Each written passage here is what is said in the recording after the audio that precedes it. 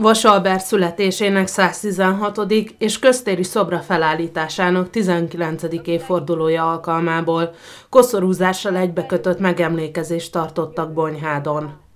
Beszédet mondott Kovács Gábor, a Vasalbert törzsasztal alapító tagja, akinek az író jelentős szerepet játszott életében. Ahhoz képest nagyon későn ismertem meg a műveit, viszont mind a mai napig a fejem fölött a könyvespolcon talán kis túlzása minden regénye, kis regénye, verses kötete ott található.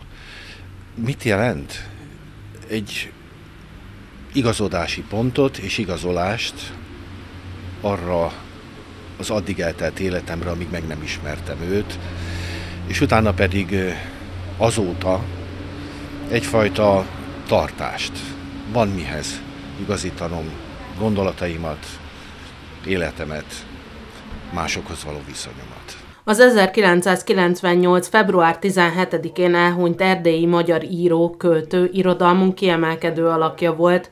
Mint Kovács Gábor megjegyezte, művei közül az 1953-ban írt 13 almafa volt az első, amivel annak idején megismerkedett. Amit egy hosszabb utazás során mellettem ülő kollégám folyamatosan olvasott, és utána én is kézbe vettem. Én addig hú, ez már nagyon rég volt, még Vasalbert életében.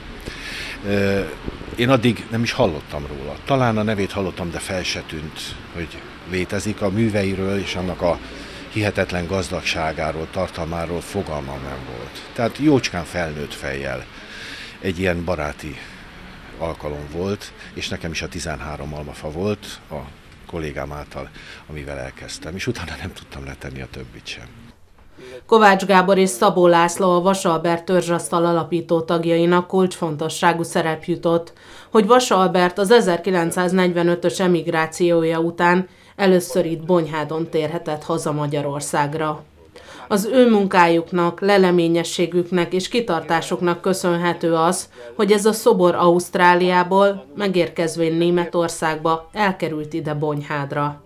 Majdnem, hogy egy Vasalbert regény íródna, ha ezt most elmondanám, de kisregény biztosan, novellánál hosszabb a történet, de tel is tele van regénybe illő fordulatokkal, onnan kezdve, hogy nem is mi szerettünk volna Vasalbert szobrot állítani, hanem Budapesten szerettek volna.